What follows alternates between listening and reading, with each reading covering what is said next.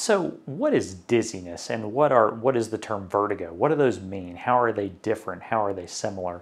Um, vertigo is a term that describes the sensation of movement. So, someone is having the sensation of movement, uh, then they have vertigo. Dizziness can mean just about anything. Um, but to an ear, nose, and throat doctor, we usually associate vertigo much more with inner ear disorders versus dizziness, which can be many other things. It can be inner ear disorders, but it can certainly be a lot of other things instead. Uh, vertigo is usually a spinning sensation, although it doesn't have to be. It's typically going to get it's typically going to be a spinning sensation. So people will usually feel like they're spinning side to side.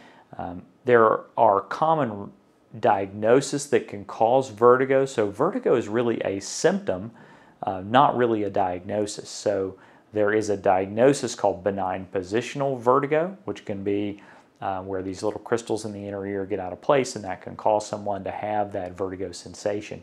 There's other conditions like Meniere's disease, which can cause vertigo, and I've done some other videos on that.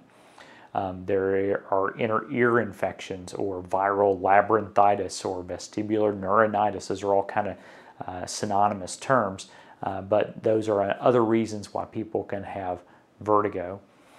We often see people as ear, nose, and throat doctors that have dizziness that's totally unrelated to the inner ears, and we'll try to uh, do what we can for those things, but sometimes referring those to other practitioners, such as neurologists and other things, about some generalized dizziness.